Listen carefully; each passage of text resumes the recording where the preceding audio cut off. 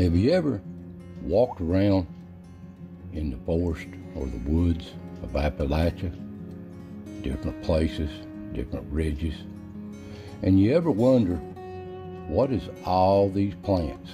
What are they for? All different varieties. These mountains are full of plants. You couldn't count them. Most people think they're just trees or weeds, but no, they have a bigger significance, and it's secret to a lot of people. Now I'm going to go over some of these wild mountain roots and herbs of Appalachia, just a few. There's as many of them, if not more, than there are superstitions in these old mountains, and that's a lot. Now these old these mountains, they've been inhabited for centuries by the Native Americans.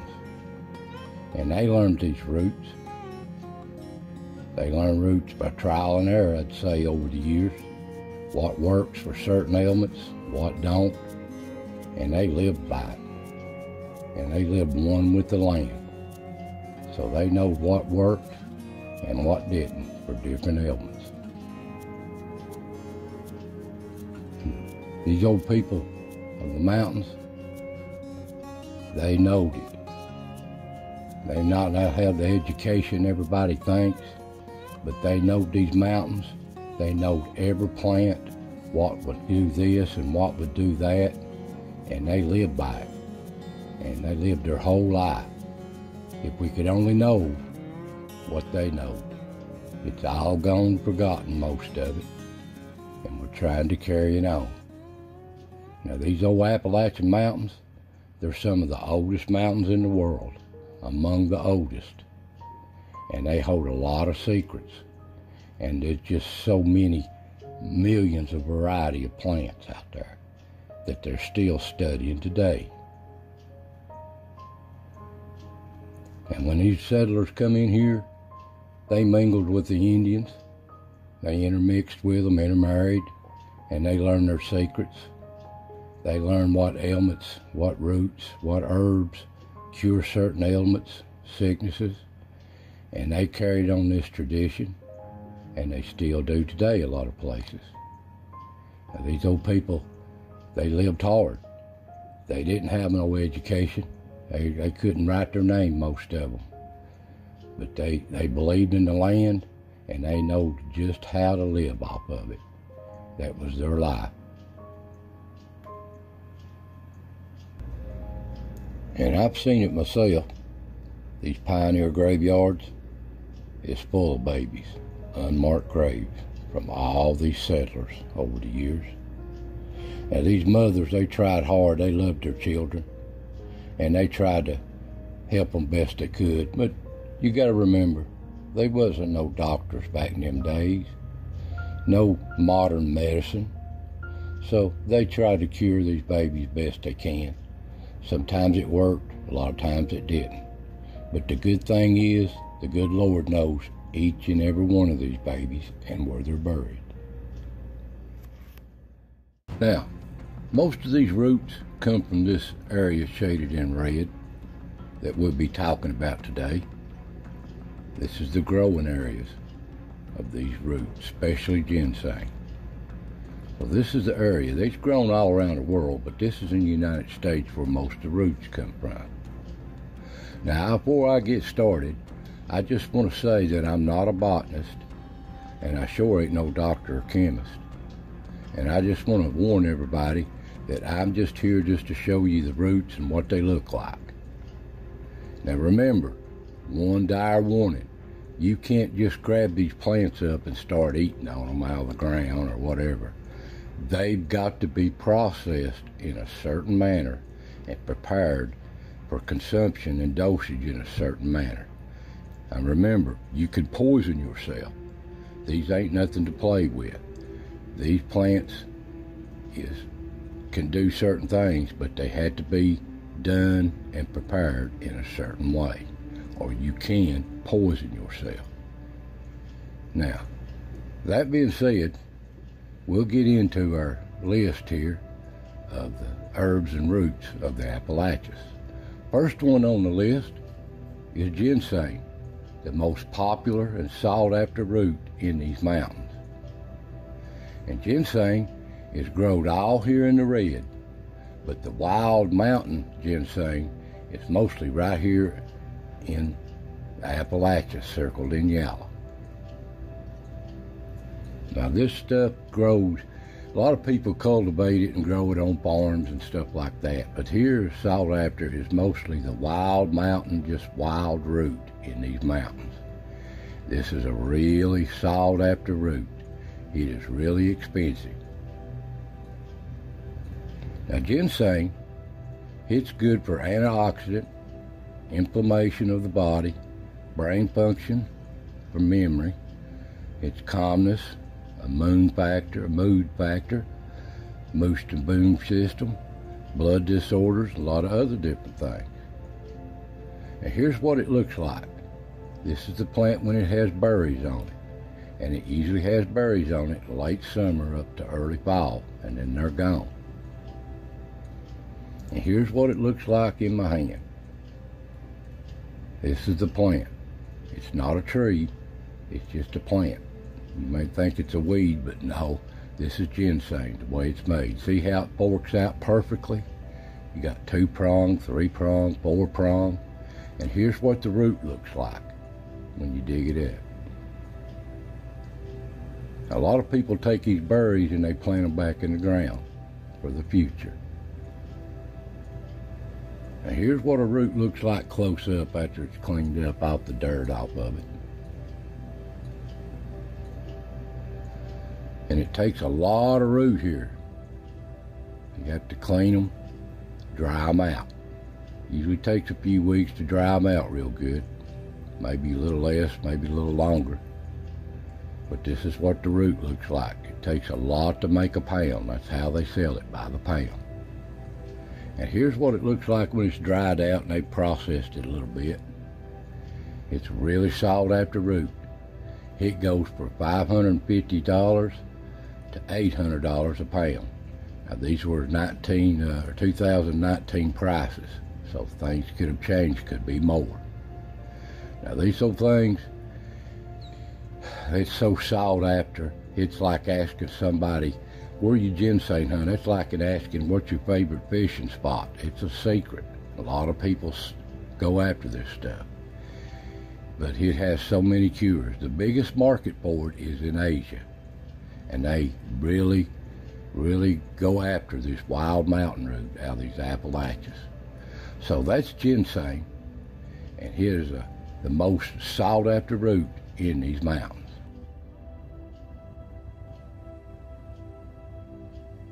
Well, next up on our list is yellow root. This is used for a lot of different medicines and they're still trying to develop different medicines for this root. And here's what it looks like.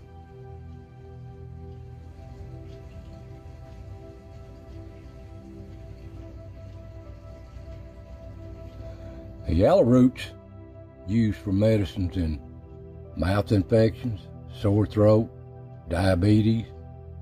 It's an antibiotic, and they make medicine to aid in childbirth. A lot of stuff made out of this. Here's what it looks like out in the wild.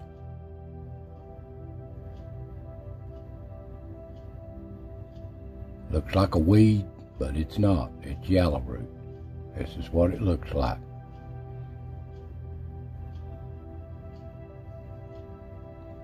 And here is what the root looks like. Looks like a, a long stem down under the plant. And it's called yellow root because it's yellow. And here's what the roots look like when they're dried out, seasoned. And there is a market for it. And here's a better look at the leaves on them. You know, they cultivate a lot of this stuff, but I showed you what was in the wild. Looks a little different. And next up on the list is bloodroot. This grows out amongst the yellow root, the ginseng, out in these mountains. Here's what it looks like. It puts up a little flowery plant in the spring and summer.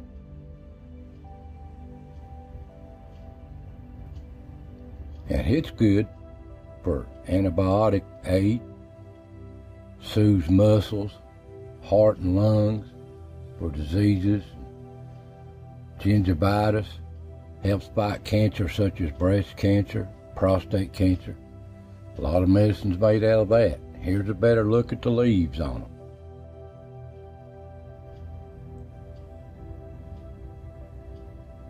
They got an odd shape to them. And here's the root. It got its name bloodroot or red root by looking at the root here. It's just bright red. Blood red. That's how it got its name. So that's bloodroot. A lot of medicine's made out of that. Next up on the list is ginger.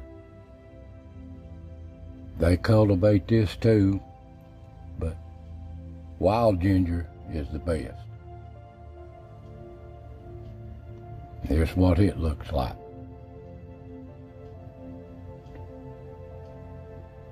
And out in the wild, it looks like this out in the mountains. But right here, it's good for upset stomachs, joint pain, muscle pain, and antioxidant properties. Make a lot of medicine out of that. Here's what it looks like right out in the wild, out in the woods. Kind of little different shapes, but that's what it looks like. It'll grow out in little patches or big patches, just spread out. And here's what the root looks like. This is before it's clean, processed. So that's wild ginger. Next up on the list is one that's not very much seen, but you see it in the woods if you're out, especially in the spring. It's called squaw root. It looks like this. It's more of a parasite like, grows off of beech trees, around the roots of oaks and stuff. This is an old squaw root that the Native Americans used to use. And it was good for female menstrual cramps. You know, when they have these pains and stuff, that's what the uh, they made tea out of this. The Native Americans did way back in the day. I don't know if they still use it, but they may make medicines out of it today. So that's squaw root. Next up on it is stinging nettles. They just call them nettles, but they're really stinging nettles. And here's what they look like. They look like a weed. Growing out the edge of a field or in a field, they look like a weed, but they're not. And the reason they're called stinging nettles, they got little, little, little sticky spines all up and down the stems on them. And they're good for allergy relief, hay fever. They make tea from it, helps blood pressure, arthritis, and more, diabetes. It, the list goes on and on on these stinging nettles. They are really good. They really make a lot of medicine out of these. And here's more what the leaves look like. And now, keep in mind, a lot of them look a little different out in the wild in these patches of weeds and stuff. They look a little different, but this is what they look like. That's stinging nettles. The next up on the list, as you've probably seen, is a May apple. Now, they come up in the spring, and there'll be little plotches here and there of them, and then they could be big old areas covered in nothing but mayapple. This is what they look like.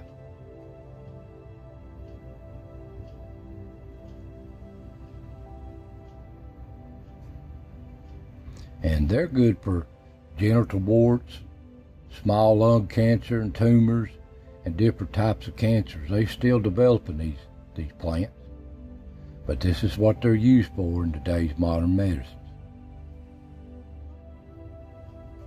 And here's a better look at the way the, the leaves look like on them. I'm sure you've seen them if you've been out in the woods in the spring.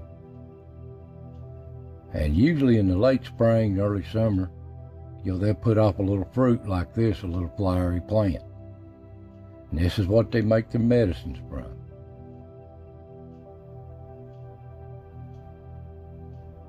So this is my apple.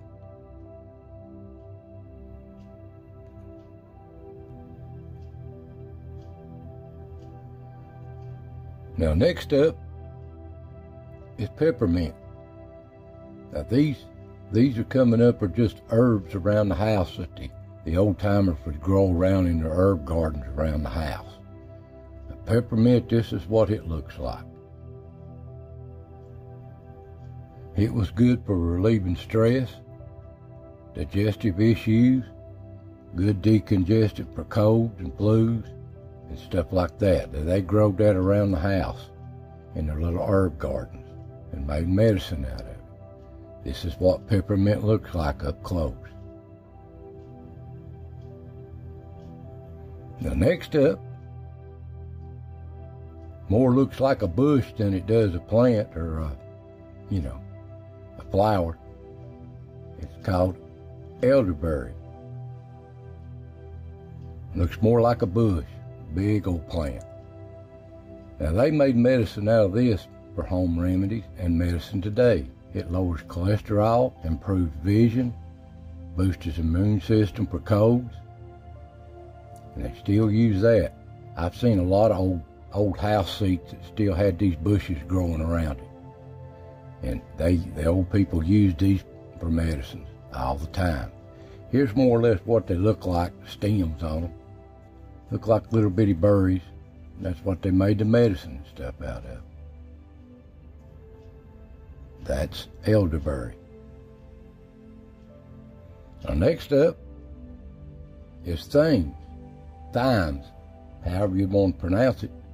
Looks like phlox to me. They made a lot of medicine out of these things. It all kinds of medicine, antioxidants, vitamin C and A, iron, magnesium, fiber, helps aid in, aid in memory loss and concentration of the mind. It helps with acne, wounds, bites, skin care, and a lot of other different things. And here's what it looks like.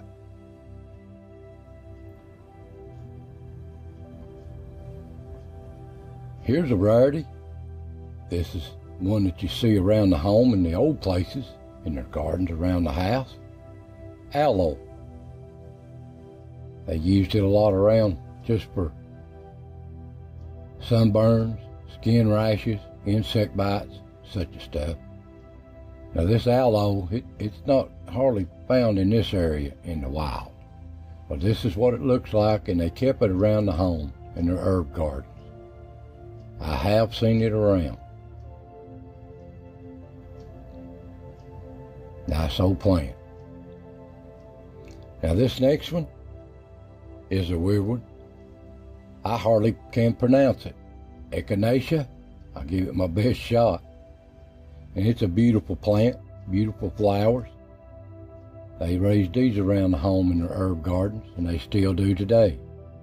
It boosts your immune systems.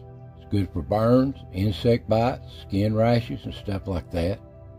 And this is what it looks like. It's a beautiful flowered plant. Echinacea. Now, the one up on the last one here is a rarity, but I have seen it in some herb gardens, but not out in the wild. It's a passion flower. Beautiful plant. And it was good for insomnia and anxiety. They still use medicines of that today. beautiful plant. It put off a fruit like this. This is what it looked like. A beautiful plant. You just you just don't see that out in the wild. Not in this country. Now here's one that everybody knows. It's basil. This is holy basil.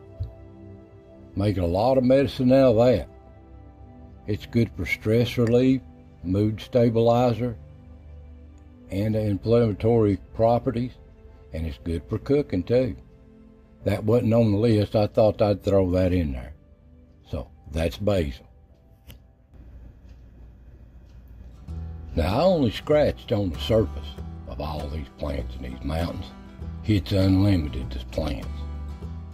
And if you're really interested, I'll leave a link in this description here on this video of this guide to medicinal plants of Appalachia.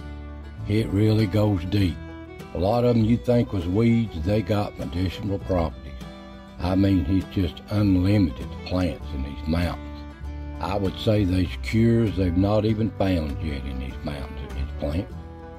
But these old people here, especially the Native Americans, they'll know more than anybody will ever know. And most of their secrets has died with them.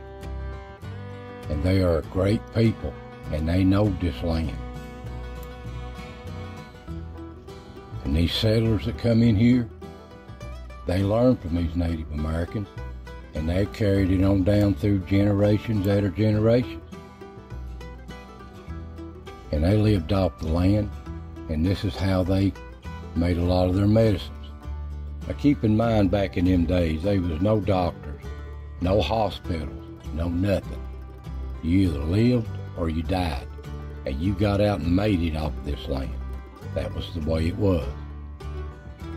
So, the biggest thing in these Appalachians especially the ginseng, is just, the same is just being over harvested. Now, a lot of people respect it, especially the, the diggers that dig for this thing, but a lot of them don't too. So, they just, it's just not being over harvested. This is some of the prizest roots in the world, is Allie's Appalachians, and we're trying to protect them and keep them going. So, I just touched on the surface of this there's so many plants out there, it's unlimited. So I hope y'all enjoyed this. I just thought I would share this because there's a lot of this is new to me. So I want to thank you for watching, and I'll see you next time.